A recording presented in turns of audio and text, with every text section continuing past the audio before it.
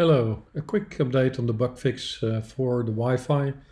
As you see after reboot it's now scanning for the Wi-Fi and after a few seconds when it's unable to detect it it'll go uh, automatically into the WPA um, auto config mode. So when you push press the button or your access point for WPA connectivity it will automatically exchange the password with the cell uh, MegaCell charger and continue now, in my situation, I don't have a WPA enabled uh, Wi-Fi access point. So eventually it'll time out after 15 to 20 seconds and it'll go into a automatic um, configuration mode, uh, which uh, the MegaCell charger becomes an access point.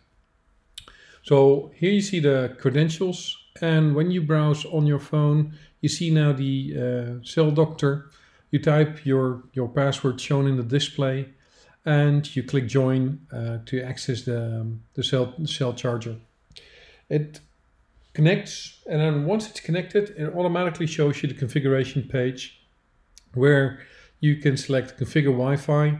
It automatically scanned for available Wi-Fi access points in the vicinity. You select your access point, you type your password and hit save and you're good to go.